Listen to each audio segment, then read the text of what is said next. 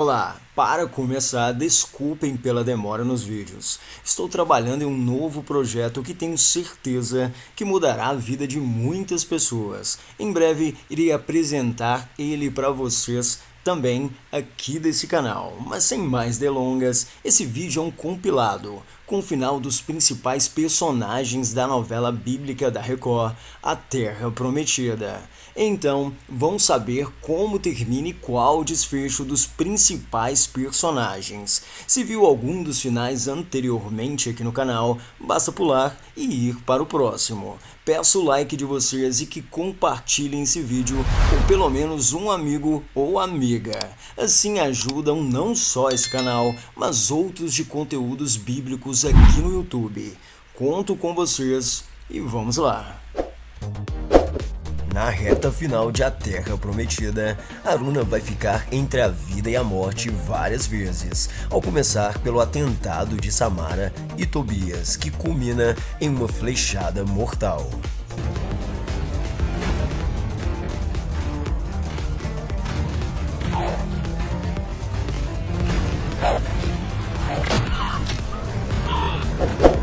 Após isso, ela se perde nas águas e é capturada pelos soldados de Adonizedek. Mais uma vez, sua bondade é reconhecida e ela tem uma ajuda para escapar das masmorras. Porém, encontra Tobias novamente, que tenta finalizá-la de novo e terminar o serviço. Deus é comigo! É mesmo? Então vamos ver se ele vai conseguir te salvar agora. Você não sabe mentir. Te flechei com a intenção de incriminar o Zaqueu. De julgar. Meu Deus, quanta justiça! Você foi pra ele. Então, se é assim, ainda tem tempo de você sair dessa situação sem matar ninguém, Tobias. Só... Chegou a sua hora. Volta essa espada! Solte! Ou prefere morrer? Nosso prêmio ouro está bem na nossa frente, soldados! E o outro? A gente mata? Não, vazio com ele. Quem sabe a Dona Zedek não nos paga por isso aí também. Salva, se é que podemos dizer assim, ela acaba sendo capturada novamente com seu meu irmão. Porém, dessa vez, ela presencia a morte de Tobias em um ritual pagão chocante. Eu não vou fazer isso, Dorizadek! A gente vai chegar, me matar. Você está enganado. Minha vida não depende de você! Essa minha paciência está se esgotando. Acaba logo com isso. Isso que você me pede. Vamos! Acerta ele bem! Acaba logo com o meu sofrimento.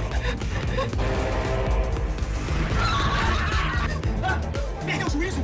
Assistir.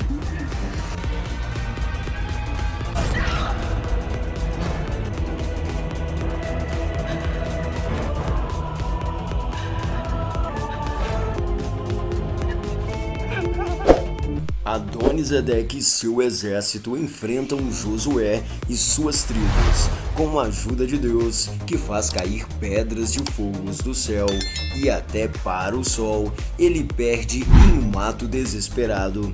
Ele a faz de refém. No entanto, ela é salva por Josué e o soldado mascarado, que posteriormente se revelaria ser sua mãe verdadeira. Yo tengo a tu esposa, Josué. Su vida está en mis manos y pende de un hilo. Haz lo correcto, Josué. Israel está en primer lugar. La misión que Dios te confió es más importante que todo, mi amor. ¡Cierra la ¡Todo! Suelta tu espada, Josué. Inclínate ante el poder de Adonisedec. Solo así tendrás a tu esposa de vuelta. Haz- No te rindas, Josué. No sucumbas al chantaje. Yo moriré feliz y es por el bien de Israel. No, mi amor, aún no ha terminado. Dios está al mando. Siempre, siempre, Josué, siempre. ¿Crees que estoy mintiendo? Voy a cortarle el cuello ahora mismo.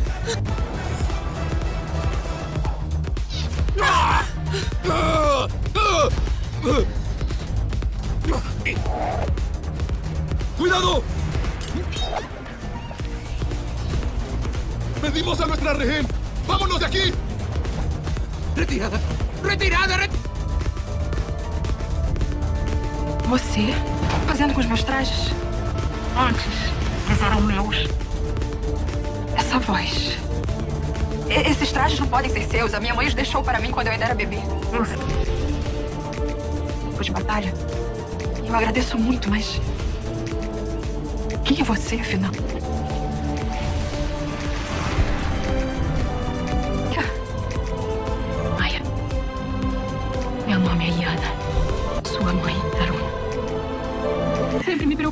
Sua segurança e com a sua felicidade.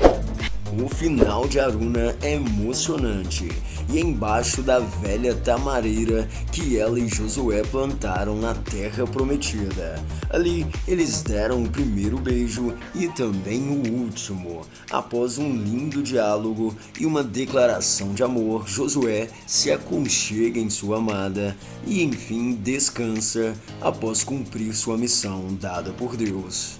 Valeu a pena, não valeu? Sempre vale. A fé. E o verdadeiro amor.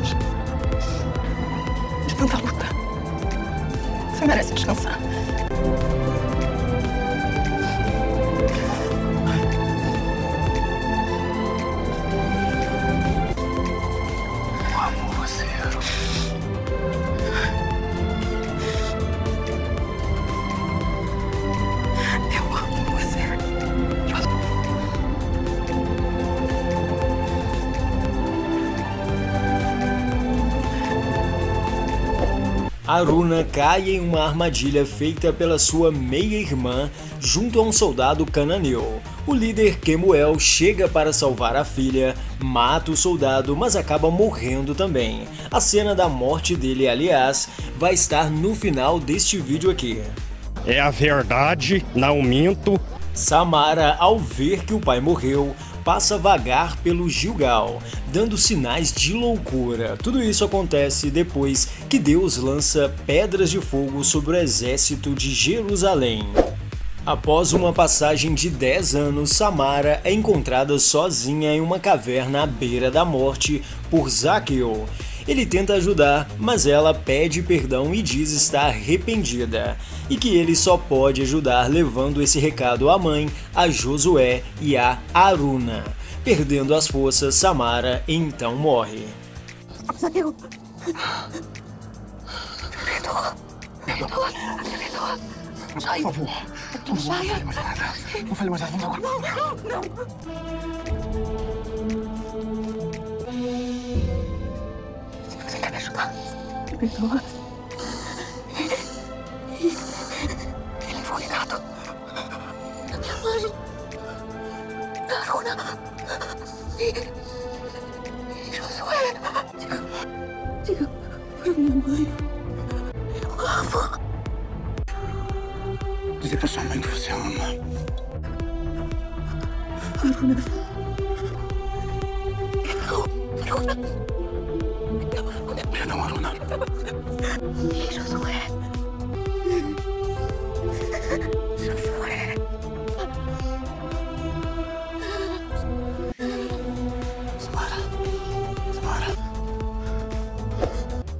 Nirvana se apaixona por Makir. Ela acaba se entregando e por fim fica grávida. Makir, devido a rinchas entre suas tribos, até sugere que ela tire o filho.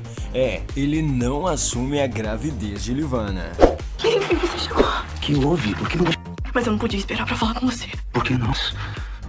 Você foi muito discreta. Aqui. Preciso. Eu tenho muito que chorar. Você está me assustando. Aconteceu uma coisa muito grave aqui. Está mais calma. Pouco obrigada. É tão séria, tão grave que, que vai mudar as nossas vidas pra sempre. Eu estou grávida, Maqui. Grávida. É tarde, é claro. Ela deve conhecer alguma erva para interromper essa gravidez. Você quer abortar nosso filho, Maqui? De jeito nenhum. Rune, por amor e carinho a Livana, por outro lado, está disposto a se casar com ela, mesmo ela estando grávida de outro homem. Ela acaba se casando com Rune em uma cerimônia dupla que é seguida de uma grande tragédia.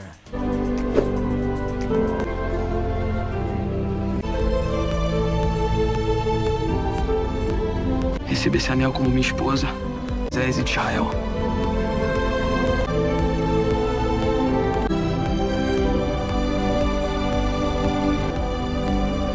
Agora vocês são um para o outro, marido e mulher, diante de Deus e de toda a congregação dos filhos de Israel.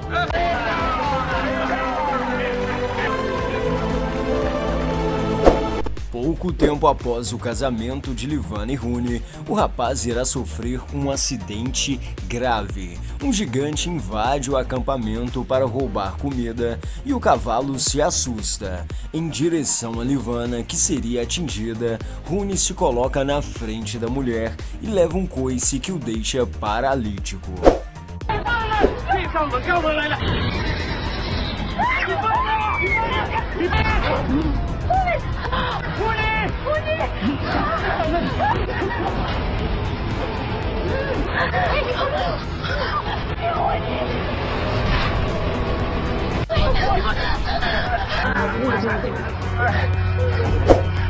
Após isso, Rune irá rejeitar a esposa e tentará anular o casamento, já que agora está paralítico. Mas Livana, mesmo com as investidas de Makir, fica ao lado do marido e aos poucos se aproximam mais e mais. Eles se deitam juntos e ficam bem. Rune recupera seus movimentos. Livana acaba por ter não um, mas dois bebês, sim, gêmeos. Na reta final de A Terra Prometida, Makir, arrependido, faz um sacrifício inesperado e dá sua vida em troca da de Rune, se colocando na frente de uma lança que seria para o seu rival em uma cena emocionante.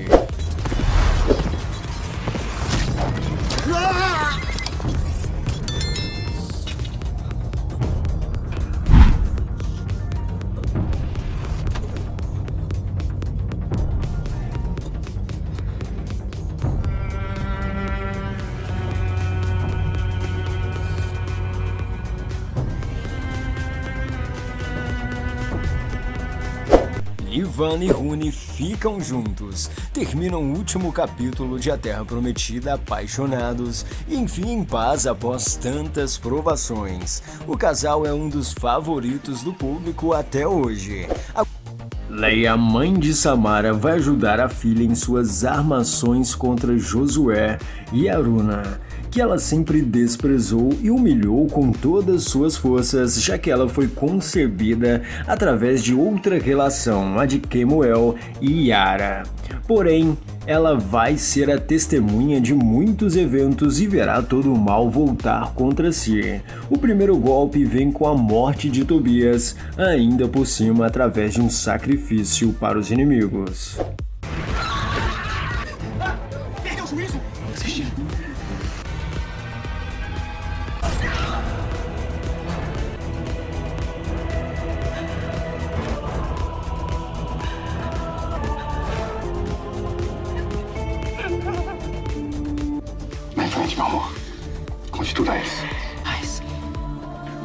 Eu não posso imaginar o que seria pior do que isso. Os capturados por um pelotão de Jerusalém que veio no meu encalço.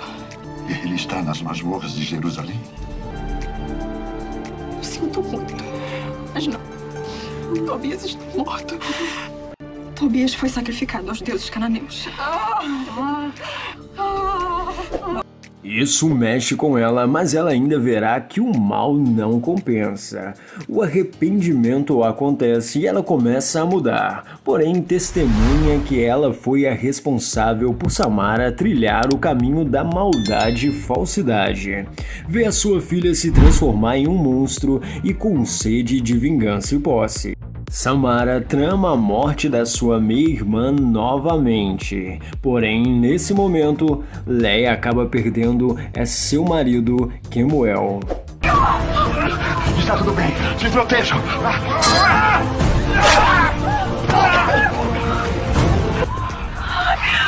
Obrigada, tio. Ai, ai, caiu no perigo.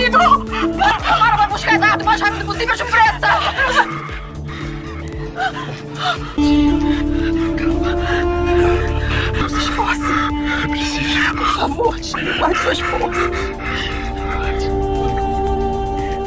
Não me chama de tio. Me chame de pai. Eu. Eu sou seu pai. Agora ela também vê Samara ficando louca indo embora viver suas loucuras em cavernas e definhando até perder a vida. O final de Leia em A Terra Prometida é de arrependimento e aprendizado. Ela perde todos seus entes queridos, no entanto, a pessoa a quem ela mais humilhou e pisou em sua vida, a Aruna, resolve não abandoná-la e retribuir seu descaso com amor. Ela acolhe Leia, agora mudada e emocionada com tudo o que aconteceu em seu caminho. Mas a senhora não precisa fazer isso para pagar pelos seus. Joé já te perdoou. Deus já te perdoou. Pensava que seria ajudando os doentes que eu me redimiria do que faço para servi-lo. Se a senhora está feliz. Bem, agora eu preciso ir. Obrigada pelo doce, pela visita.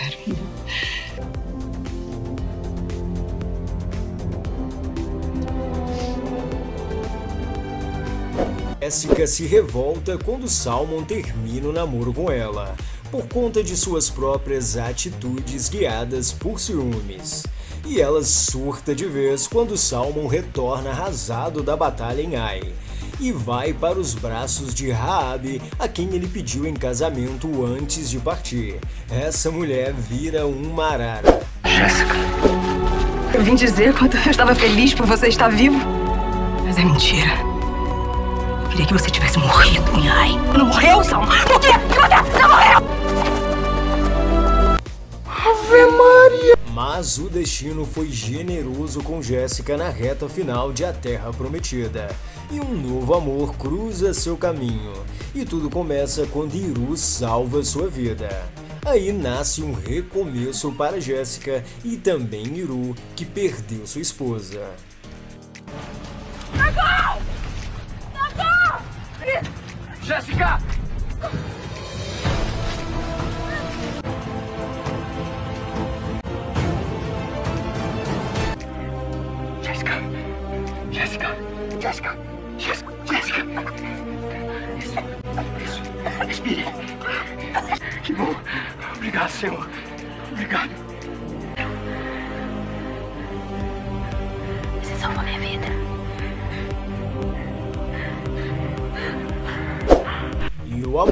Acontece mesmo. Os dois se apaixonam e Iru, amadurecido pela companhia de Jéssica, decide seguir a vida e pede seu novo amor em casamento. Tá vendo, Jéssica? Era só confiar. Que orgulho. Uma escolha melhor. Nós gostamos demais da Jéssica. Parabéns. Ficamos muito contentes, meu pai. Oh, meu filho, como é bom. Ah, esse grande homem de valor que você é hoje. Agora, você tem novas responsabilidades para assumir e cuidar. É sim o prêmio de estar juntos. Obrigada, Sr. Caleb. Eu também tenho mais uma novidade. Ai.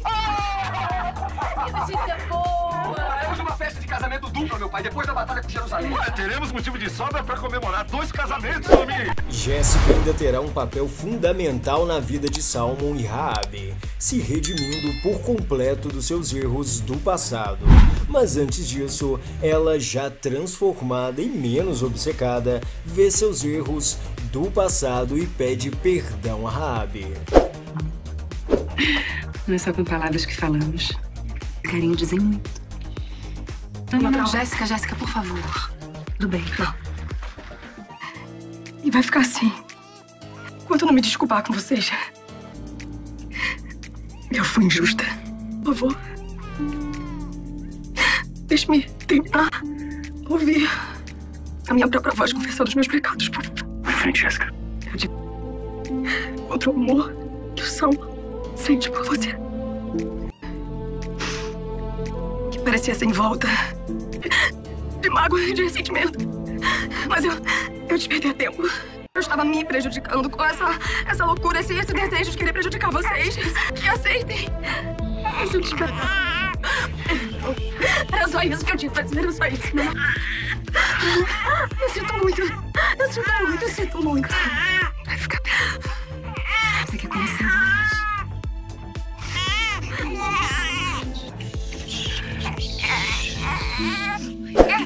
Iru e Jéssica ainda salvam um filho de Raab Salmon, após ele ser sequestrado por Mara, que mandou fazer um ritual com o bebê inocente.